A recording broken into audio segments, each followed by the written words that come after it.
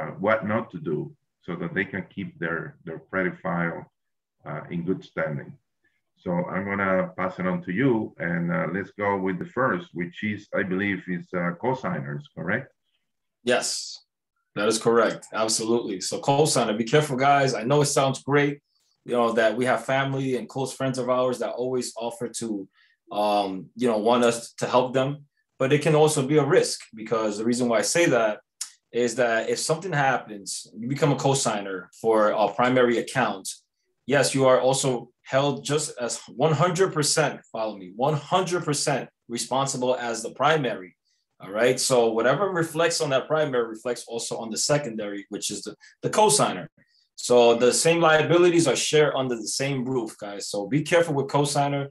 It could be as, as good and tempting, but it can also be a trap for anyone who or who is not understanding, who just don't don't realize the consequences that can come behind that um, and you know, my thing is like I always share with people, I went through that, but I always want to help people understand you can do it on your own, no co-signer needed, and you can excel where you need to be as as as as far as um, getting qualified for an approval for auto loan, eventually a mortgage or personal loan, things of that nature that fall in that category without even having a co-signer. It's all about just re, uh, building your credit right, uh, getting yourself established, and then going out there and doing it the right way. Okay, so that's what I always share about cosigner. Be careful. Cosigners is is a, a very delicate thing to do, especially when you cosign for people that are not uh, directly in your circle, like uh, um, a close family member or something like that. You have to be very careful, and you must know the person. Like I find a lot of people that they want to purchase a home, but they were a cosigner for a friend, and what happens? That friend maybe didn't wasn't as responsible as the person thought he was, and then he goes out or she goes out and sign up for a vehicle for this person, and then all hell break loose. I mean, the person have an accident, get sued, they take the car away, and you know the debt they don't take away, so you still got to pay some kind of way.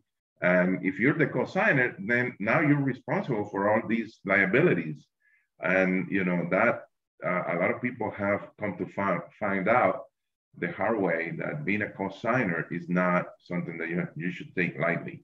I mean, it's something that maybe you can do for maybe your uh, daughter or son, or maybe your mom, or for somebody that you know very close that you know is not going to get you in trouble, and it's going to be able to pay their debt. And even Absolutely. when you do it like that, right? I think uh, you have you have to know that there's certainly degree or level of responsibility on your part because if something happens to that person and you want to keep your credit profile in good shape, then you're going to probably have to take over that debt eventually, right? Absolutely.